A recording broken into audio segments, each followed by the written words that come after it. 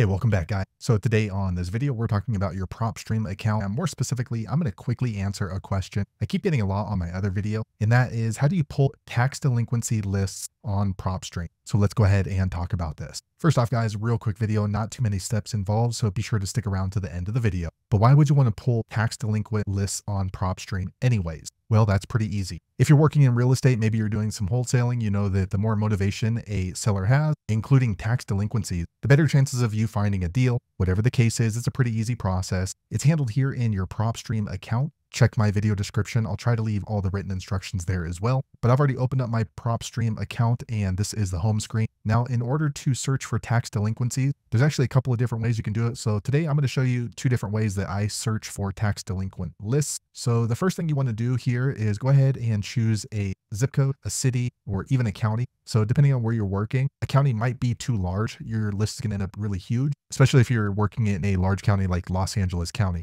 Usually what I'm going to do is I'm going to go ahead and type in a city. So let me go ahead and type in a city here. Okay, so I'm going to pull up Long Beach, California, just for the purpose of this video. You can see there's about 106,000 properties listed there on PropStream. Now to do tax delinquent lists, what you do is click on the filter button, this turquoise button. And then the nice thing about PropStream is they have a quick list. So you can click right here and then just scroll down until you see tax delinquencies. Okay, now it's going to filter out tax delinquency. So you can see there are 6,227 properties that the county has notified that these properties are behind on one or more years of their property taxes. So you can see this list is pretty huge depending on what your marketing effort is. So what I would normally do is I'm going to go ahead and filter this down a little bit more. So just click on filter. Okay, so we do have right here tax delinquencies. I'll go ahead and leave that. But the first thing that I do when I am looking for a tax delinquent list on PropStream is I click right here on MLS status. Here, I do not want to buy off market. I'm sorry, on market properties. So I'm always going to click here, no, and that's going to remove anything that's already listed with a real estate agent.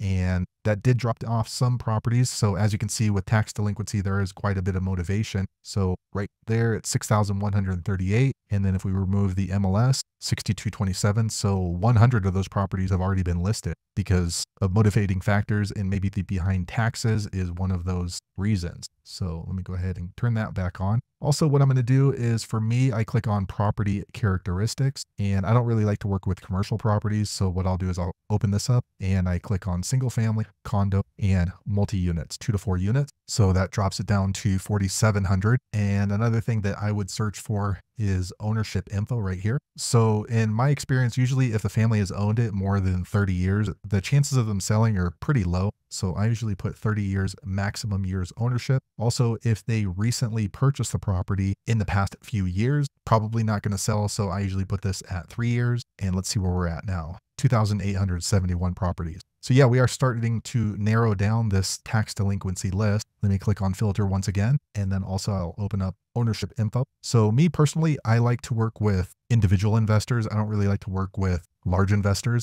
So for me, I'll usually click right here, owner type, and then I'll remove corporations. So I'll check on individual and then also number of properties owned. So in my experience, if you are working with somebody who has, I don't know, 15, 20 different properties, they're pretty seasoned investors. So it's not likely you're going to be able to come across a deal. So for me, I like to work with folks who own less than three properties. So I put that there and let me close this down. So we have that down to 1,700. And then another thing that I would do is if the folks are delinquent on their property taxes and they're coming up on your list, it is possible that they don't have any equity in their property. So depending on what your strategy is, if you're going to be buying it subject to, or you're going to be paying cash or something like that, you may need to have a certain amount of equity in the property. So I'll open up right here, valuation and equity, and then I'll scroll down until I see this estimated equity percentage. For me, I'm looking for a minimum of 30% equity, and that gives us a little bit of room. So let's see where we're at now. 1650. So this list is a pretty good size list. Now on the valuation and equity part right here, I put in 30%, but that's really going to depend on your market. If you're in a market that houses are selling for, I don't know, $50,000, maybe 30% equity is not going to be enough. Maybe you need to go ahead and delete this and then click on here, a minimum of let's say $30,000 of equity in the property. So that really depends on where you're going to be working at. For me, the percentage in California, we can just put that at 30%. Okay, so for me, this is a good size list and those are the filters that I would put on if I were doing a tax delinquency list on PropStream. Now you can filter that even more if you happen to end up with a larger list that's going to be too much for you. You can go ahead and check right here, owner occupied. So I would click no. So these might be out of area investors. So you can see there's 246 property. These are people who own the property and they're behind on taxes, but they don't actually live there. So they're dealing with like renter issues and things like that maybe.